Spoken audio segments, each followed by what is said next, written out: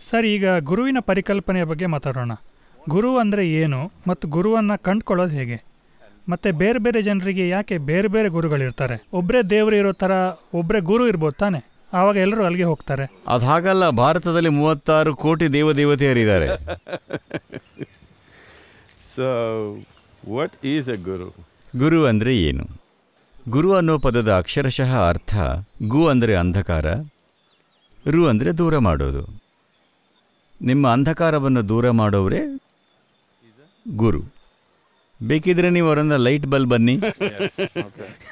ಅವರು ಬೆಳಕು ಬೀರ್ತಾರೆ ಅಷ್ಟೇ.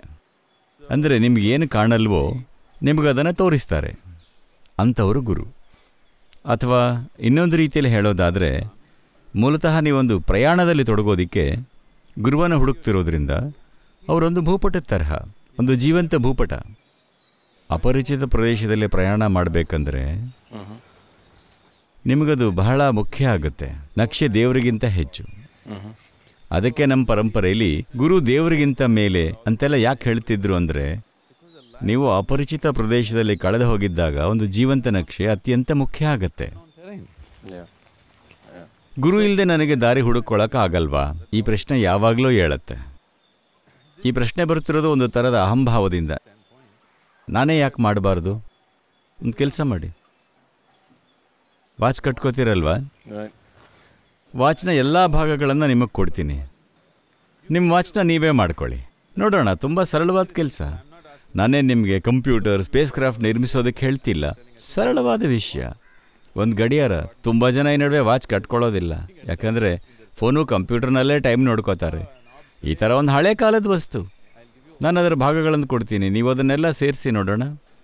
ನಿಮ್ಮ ಪೂರ್ತಿ ಜೀವನ ಬೇಕಾಗ್ಬೋದು. ಅಷ್ಟು ಸರಳವಾಗಿರೋ ವಿಷಯ. ಅದಕ್ಕೆ ನೀವು ವಾಚ್ ಮಾಡೋರ ಹತ್ರ ಹೋಗ್ತೀರಾ? ಹಾಗಾದ್ಮೇಲೆ ನಿಮಗೆ ಗೊತ್ತಿಲ್ಲದಿರೋದ್ರ ಬಗ್ಗೆ ಗುರುಗಳ ಬಳಿ ಹೋಗೋದಕ್ಕೆ ಏನು ಸಮಸ್ಯೆ? ನಿಜ, ಆದರೆ ಇಲ್ಲಿ ವಿಷಯ ಸ್ವಲ್ಪ ಬೇರೆ. ನಾನು ಈಶಾ ಯುವ ಕೇಂದ್ರ ಸುತ್ತ ನಡೀತಿರ್ಬೇಕಾದ್ರೆ ಭಾಳಷ್ಟು ಜನರಲ್ಲಿ ನಾನು ಗಮನಿಸಿರೋದನ್ನು ವರ್ಣಿಸೋದಕ್ಕೆ ನನ್ನ ಬಳಿ ಇರೋ ಹತ್ತಿರದ ಪದ ಅಂದರೆ ಭಕ್ತಿ. ಕೆಲವರು ಇದನ್ನು ಆರಾಧನೆ ಅನ್ಬೋದು. ನಿಮಗೆ ಗುರು ಸಿಕ್ಕಾಗ ಅದೇನು ಬೌದ್ಧಿಕ ಅಲ್ಲ. ವಾಚ್ ಮಾಡೋದು ಒಂದು ಬೌದ್ಧಿಕ ಕೆಲಸ ಆಗಿರ್ಬೋದು.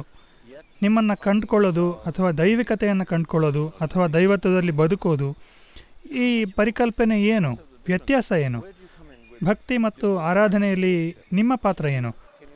ಗುರುಗಳ ಕಡೆಗೆ ಅವರಲ್ಲಿ ಕಾಣಿಸೋ ದೈವತ್ವದ ಭಾವನೆ ಇಲ್ಲದೆ ಗುರುಗಳು ಸಹಾಯ ಮಾಡ್ತಾರಾ?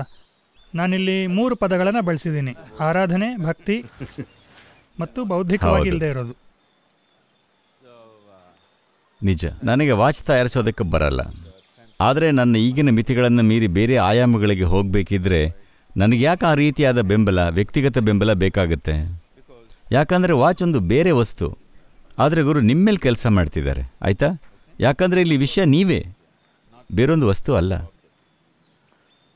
ಹಾಗಾಗಿ ನಿಮಗೆ ಸುತ್ತಲೂ ಕಾಣ್ತಿರೋ ಶ್ರದ್ಧಾ ಭಕ್ತಿ ಬಗ್ಗೆ ನಿಮ್ಮ ಒಂದು ವಿಷಯ ಅರ್ಥ ಆಗಬೇಕು.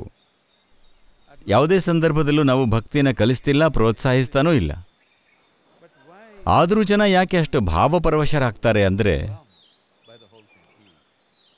ನೋಡಿ, ನೀವೊಂದು ಮರುಭೂಮಿಲಿ ಇದ್ದೀರಿ ಅಂದ್ಕೊಳ್ಳಿ.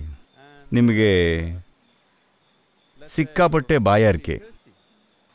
ಪ್ರಾಣ ಹೋಗತ್ತೆ ಅನ್ನೋಷ್ಟು ಬಾಯಾರಿಕೆ ಆಗಿದೆ ಅಂದ್ಕೊಳ್ಳಿ. ಅಂಥ ಹೊತ್ತಿನಲ್ಲಿ ಯಾರಾದರೂ ನಿಮಗೊಂದು ಲೋಟ ನೀರು ಕೊಟ್ಟರೆ ನೀವು ಅವ್ರಿಗೆ ಕೈ ಮುಗಿಯೋದು ಸಹಜ ತಾನೇ? ಇವರು ದೇವರು ಅಂತೆಲ್ಲ ಯೋಚನೆ ಬರಲ್ಲ. ಅದೆಲ್ಲ ಬರೋದು ಅದನ್ನೆಲ್ಲ ನಿಮಗೆ ಕಲಿಸಿದ್ರೆ ಮಾತ್ರ. ಇಲ್ದಿದ್ರೆ ನೀವು ಸುಮ್ಮನೆ ಒಬ್ಬ ಮನುಷ್ಯರಾಗಿ ಕೃತಜ್ಞತಾ ಭಾವ ಉಕ್ಕಿ ಅವರಿಗೆ ತಲೆಬಾಗಲ್ವಾ? ನೀವಿಲ್ಲಿ ನೋಡ್ತಿರೋದು ಅಷ್ಟೇ. ತಲೆ ಬಾಗಬೇಕು ಅಂತ ಯಾರೂ ಅವ್ರಿಗೆ ಕಲಿಸಿಲ್ಲ.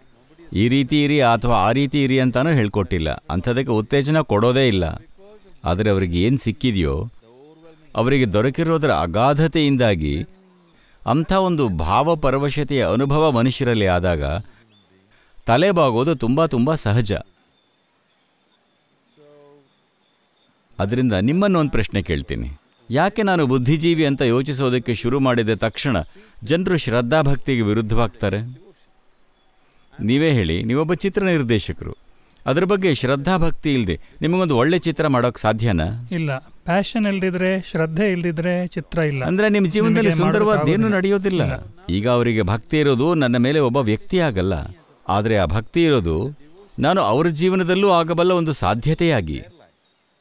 ಒಬ್ಬ ವ್ಯಕ್ತಿಯಾಗಲ್ಲ ಹಾಗಾಗಿ ಸಂಪೂರ್ಣವಾದ ಶ್ರದ್ಧಾಭಕ್ತಿ ಇಲ್ಲದೆ ಯಾರಿಗೂ ಅರ್ಥಗರ್ಭಿತವಾದದ್ದೇನನ್ನೂ ಸೃಷ್ಟಿ ಮಾಡೋಕ್ಕಾಗಲ್ಲ. ಸಾಧ್ಯನೇ ಇಲ್ಲ.